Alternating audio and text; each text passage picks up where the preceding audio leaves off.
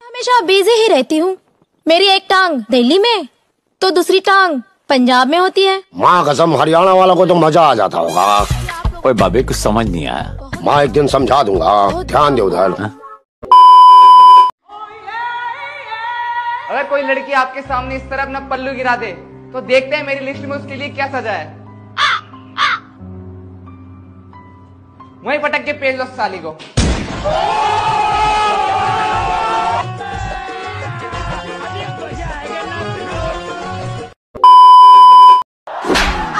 अरे कल मुही शर्म ना आई तुझे?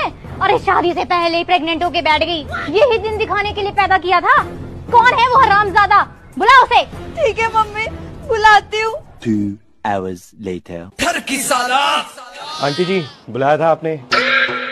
मैं ही हूँ वो। जिसने इसको प्रेग्नेंट किया है। बाकी देखिए शादी वादी तो मैं कर नहीं सकता। मैं एक वादा कर सकता हूँ मैं आपसे। अगर लड़की होगी तो तीन करोड़ रुपए कैश और एक बंगला मैं गिफ्ट में दे दूँगा। जाओ। और अगर लड़का हुआ तो पाँच करोड़ रुपए कैश और दो फैक्ट्री गिफ्ट में दे दूँगा। अब आप ये बता दो कुछ नहीं हुआ तो क्या करना है?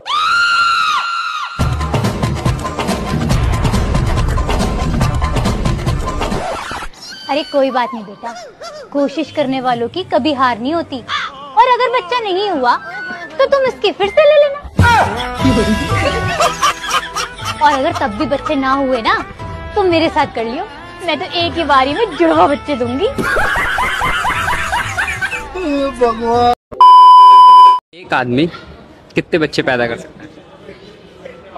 चौदह। चौदह। एक आदमी। आदमी। एक भी नहीं। एक ना एक भी नहीं। तो आपने चौदह कैसे गए? मुझे लगा लड़का आदमी। लड़का अलग है? लड़का कर सकता है आदमी नहीं। लड़का चौदह कर सकता है आदमी नहीं कर सकता? आदमी बड़े होते हैं ना जब अच्छा लड़का कितना कर सकता है? दस।